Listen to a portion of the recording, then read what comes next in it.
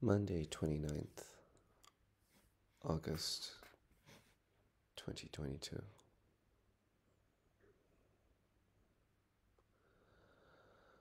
I was glad when they said unto me, You will go into the house of the Lord. Let us humbly confess our sins to Almighty God.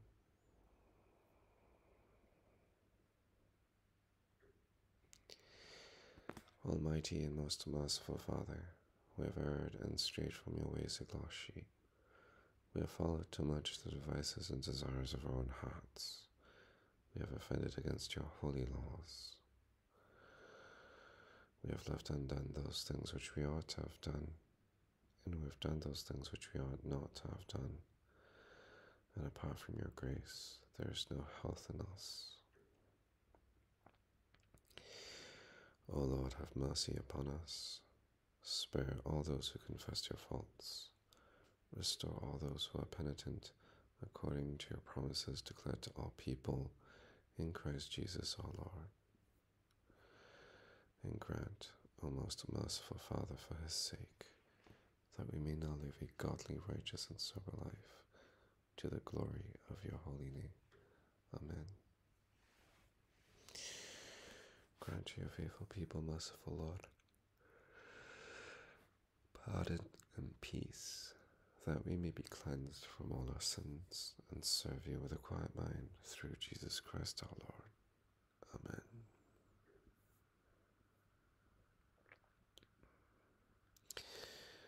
O Lord, open our lips, and our mouth shall proclaim your praise. O God, make speed to save us. O Lord, make haste to help us. Glory be to the Father, and to the Son, and to the Holy Spirit, as it was in the beginning, is now, and ever shall be, world without end. Amen. Praise the Lord. The Lord's name be praised. The earth is the Lord's, for he made it. O come, let us adore him. O come, let us sing unto the Lord. Let us heartily rejoice in the strength of our salvation. Let us come before his presence with thanksgiving and show ourselves glad in him with psalms. For the Lord is a great God and a great King above all gods. In his hand are all the depths of the earth, and the heights of the hills are his also. The sea is his, for he made it, and his, and his hands prepared the dry land. O come, let us worship and fall down and kneel before the Lord our Maker. For he is our God, and we are the people of his pasture and the sheep of his hand. Today, if you will hear his voice, harden not your hearts. As in the provocation and as in the day of temptation in the wilderness, when your fathers tested me and put me to the proof, though they had seen my works. Forty years was I grieved with this generation and said, It is a people that earn their hearts, for they have not known my ways, of whom I swore in my wrath that they should not enter into my rest. The earth is the Lord's, for he made it. O come, let us adore him.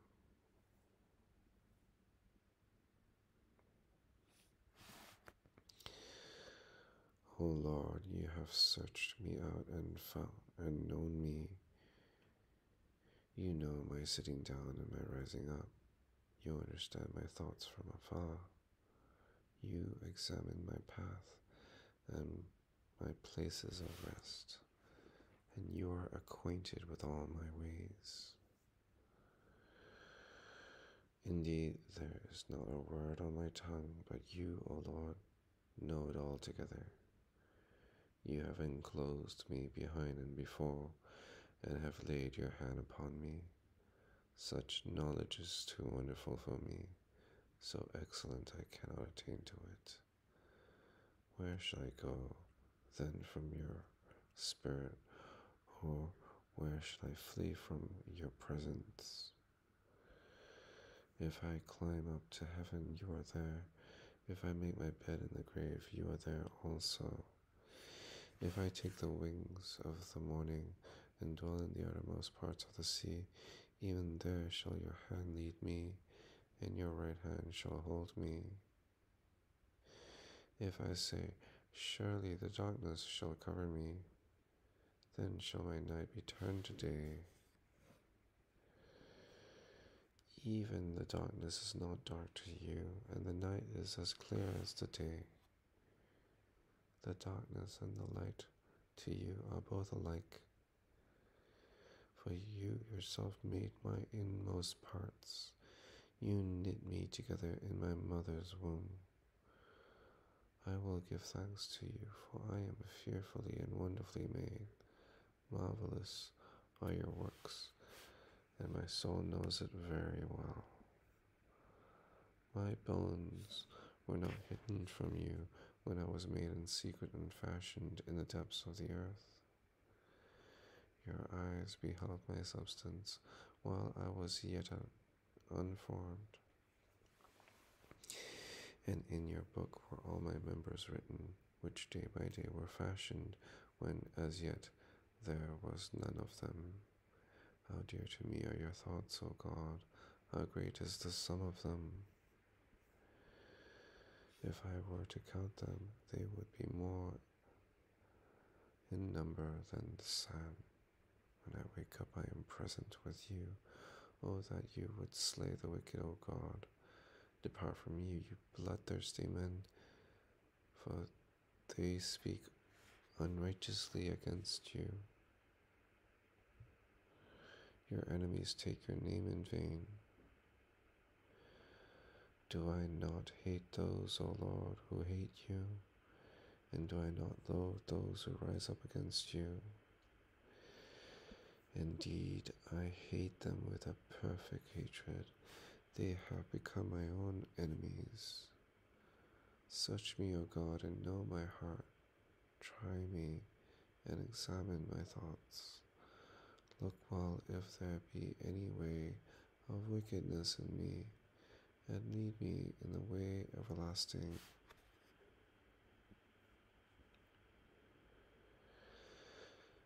Deliver me, O Lord, from evildoers, and preserve me from the violent, who imagine evil in their hearts and stir up strife all the day long. They have sharpened their tongues like a serpent, adder's poison is under their lips. Keep me, O Lord, from the hands of the ungodly.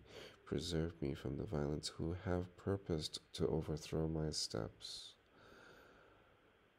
The proud have laid a snare for me and spread out a net with cords. They have set traps in my way. I said unto the Lord, You are my God. Hear the voice of my prayers, O God. O Lord God, the strength of my salvation, you have covered my head in the day of battle. Let not the ungodly have their desire, O Lord. Let not their evil imagination prosper, lest they be too proud.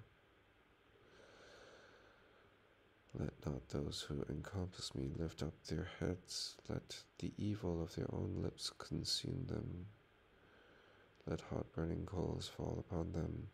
Let them be cast into the fire and into the pit that they may never rise up again. A slanderer shall not prosper upon the earth. Evil sh- shall hunt the wicked person to overthrow him. I am sure that the Lord will avenge the poor and maintain the cause of the helpless. Surely the righteous shall give thanks unto your name and the just shall continue in your sight. Glory be to the Father, and to the Son, and to the Holy Spirit, as it was in the beginning, is now, and ever shall be, world without end. Amen.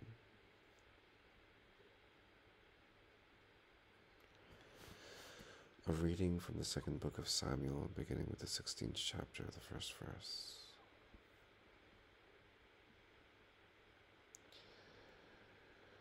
When David had passed a little beyond the summit, Ziba, the servant of Mephibosheth, met him with a couple of donkeys saddled, bearing two hundred loaves of bread, a hundred bran- branches of raisins, a hundred of summer fruits, and a skin of wine. And the king said to Ziba, Why have you brought these? Ziba answered, The donkeys are for the king's household to ride on, the bread and summer fruit for the young men to eat, and the wine for those who faint in the wilderness to drink.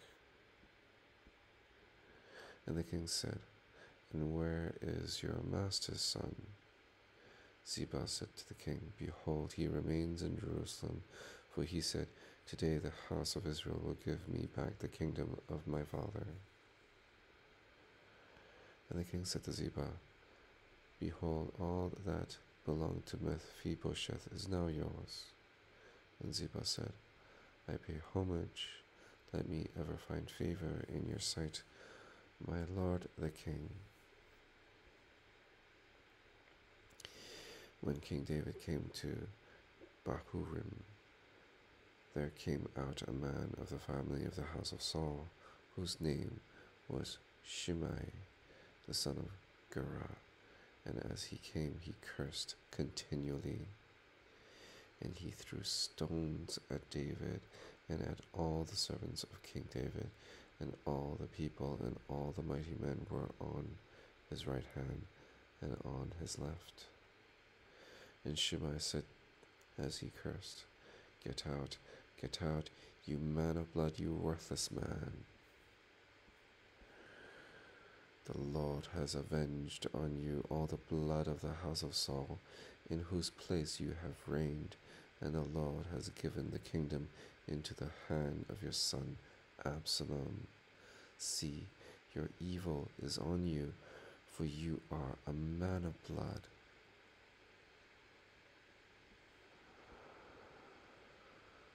Then Abishai, the son of Zeruiah, said to the king, Why should this dead dog curse my lord the king? Let me go over and take off his head. But the king said, What have I to do with you, you sons of Zeruiah? Zeruiah. If he is cursing because the Lord has said to him, Curse David, who then shall say, why have you done so? And David said to Abishai and to all his servants, Behold, my own son seeks my life. How much more now may this Benjaminite leave him alone and let him curse, for the Lord has told him to. It may be that the Lord will look on the wrong done to me and that the Lord will repay me with good for his cursing today. So David and his men went on the road while Shimei went along on the hillside opposite him and cursed as he went and threw stones at him and flung dust. And the king and all the people who were with him arrived weary at the Jordan, and there he refreshed himself. Now Absalom and all the people, the men of Israel, came to Jerusalem, and Ahithophel with him. And when Hushai the Archite, David's friend, came to Absalom, Hushai said to Absalom, Long live the king! Long live the king. And Absalom said to Hushai, Is this your loyalty to your friend? Why did you not go with your friend? And Hushai said to Absalom, No, for whom the Lord and this people and all the men of Israel have chosen, his I will be, and with him I will remain. And again, whom shall I serve? Should it not be his son? As I have served your father, so I will serve you. And Absalom said to Ahithophel, Give your counsel, what shall I do? Ahithophel said to Absalom, Go in your father's concubines, whom he has left to keep the house, and all Israel will hear that you have made yourself a stench to your father, and the hands of all who are with you will be strengthened. So they pitched a tent for Absalom on the roof, and Absalom went in to his father's concubines in the sight of all Israel. Now in those days the counsel that Ahithophel gave was as if one consulted the word of God. So was all the counsel of Ahithophel esteemed both by David and by Absalom. This is the word of the Lord. Thanks be to God.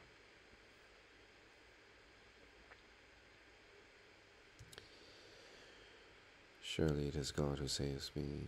I will trust in him and not be afraid. For the Lord is my stronghold and my sure defense, and he will be my Savior. Therefore, you shall draw water with rejoicing from the springs of salvation. And on that day you shall say, Give thanks to the Lord and call upon his name, make his deeds known among the peoples. See that they remember that his name is exalted, sing the praises of the Lord, for he has done great things, and this is known in all the world. Cry aloud, inhabitants of Zion, ring out your joy, for the great one in the midst of you is the Holy One of Israel. Glory be to the Father, and to the Son, and to the Holy Spirit, as it was in the beginning is now and ever shall be, world without end.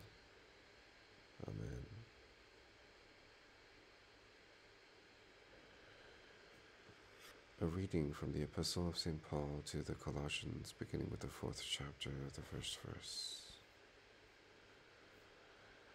Masters, treat your bond servants justly and fairly, knowing that you also have a master in heaven continue steadfastly in prayer, being watchful in it with thanksgiving.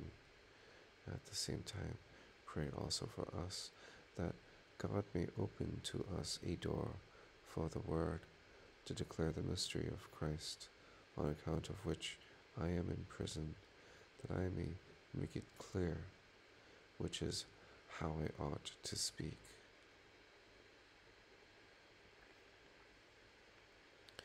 Walk in wisdom toward outsiders, making the best use of the time. Use your speech always. Let your speech always be gracious, seasoned with salt, so that you may know how you ought to answer each person.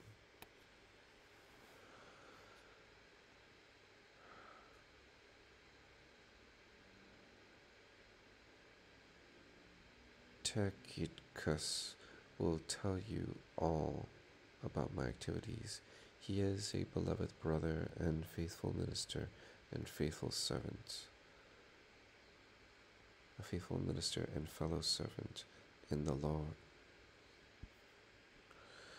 I have sent him to you for this very purpose, that you may know how we are, and that he may encourage your hearts.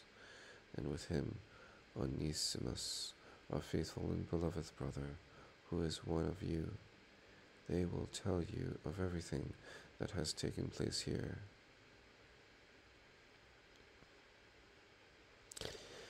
Aristarchus, my fellow prisoner, greets you, and Mark, the cousin of Barnabas, concerning whom you have received instructions.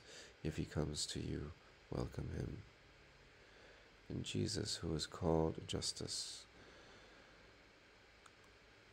these are the only men of the circumcision among my fellow workers for the kingdom of God, and they have been a comfort to me. Epaphras, who is one of you, a servant of Christ Jesus, greets you, always struggling on your behalf in his prayers, that you may stand mature and fully assured in all the will of God. For I bear him witness that he has worked hard for you and for those in Laodicea and in Hierapolis. Luke, the beloved physician, greets you, as does Demas. Give my greetings to the brothers at Laos, Laodicea, and to Nympha and the church in her house. And when this letter has been read among you, have it also read in the church of the Laodiceans and see that you also read the letter from Laodicea. And say to Archippus, See that you fulfill the ministry that you have received in the Lord.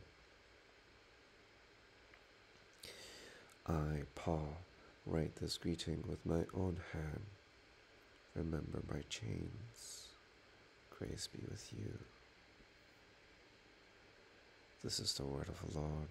Thanks be to God.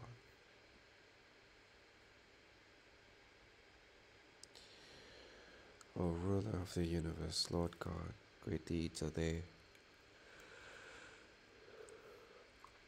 that they have are they that you have done, surpassing human understanding. Your ways are ways of righteousness and truth, O King of all the ages. Who can fail to do you homage, Lord, and sing the praises of your name? For you only are the Holy One. All nations will draw near and fall down before you, because your just and holy works have been revealed. Glory be to the Father, and to the Son, and to the Holy Spirit, as it was in the beginning, is now, and ever shall be, world without end. Amen.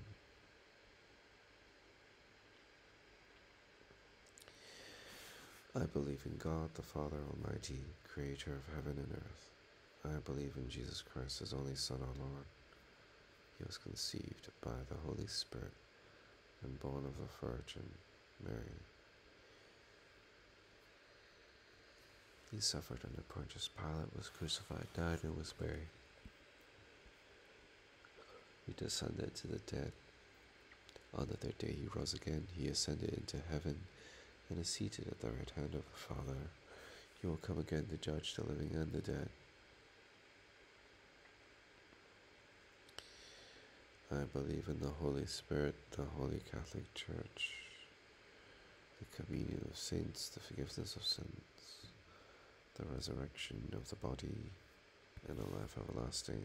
Amen.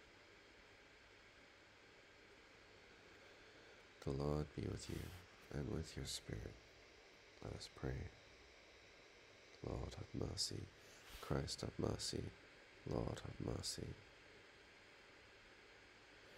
Our Father in heaven, hallowed be your name. Your kingdom come, your will be done, on earth as it is in heaven. Give us today our daily bread, and forgive us our sins, as we forgive those who sin against us Save us from the time of trial and deliver us from evil. For the kingdom, the power, and the glory are yours, now and forever. Amen. O Lord, show your mercy upon us and grant us your salvation. O Lord, guide those who govern us and lead us in the way of justice and truth.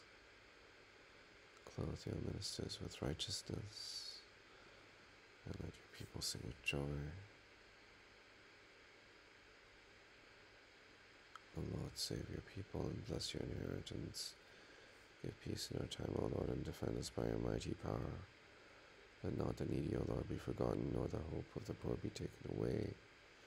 Create in us clean hearts, O God, and take not your Holy Spirit from us.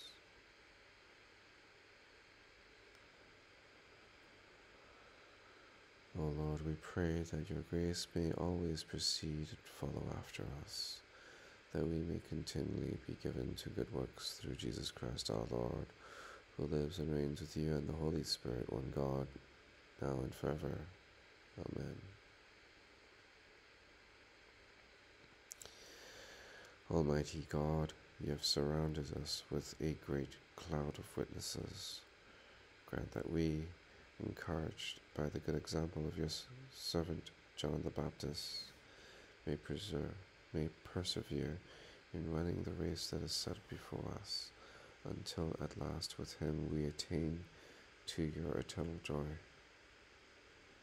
Through Jesus Christ, the pioneer and perfecter of our faith, who lives and reigns with you and the Holy Spirit, one God, forever and ever. Amen.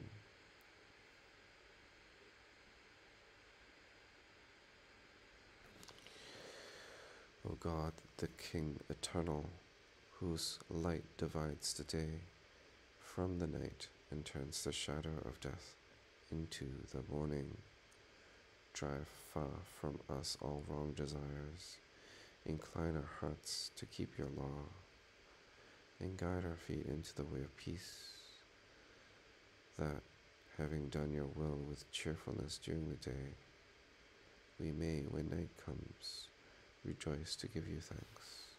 Through Jesus Christ our Lord. Amen.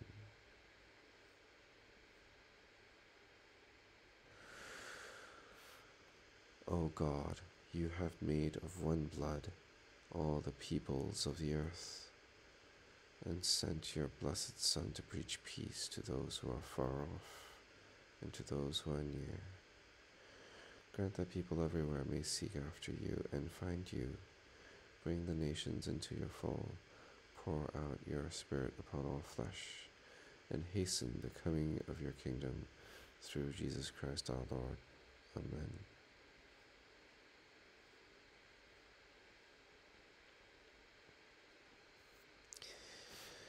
Almighty God, Father of all mercies, we, your unworthy servants, give you humble thanks for all your goodness and loving kindness to us and to all whom you have made.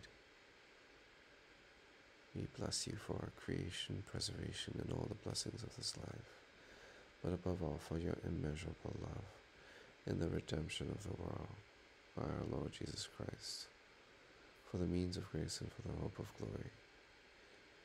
And we pray, give us such an awareness of your mercies that with truly thankful hearts we may show forth your praise, not only with our lips, but in our lives, by giving up ourselves to your service by walking before you in holiness and righteousness all our days, through Jesus Christ our Lord, to whom with you and the Holy Spirit be honor and glory throughout all ages.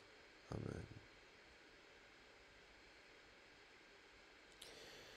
Almighty God, you have given us grace at this time with one accord to make our common supplications to you, and you have promised, through your well beloved Son, that when two or three are gathered together in his name, you will grant their requests.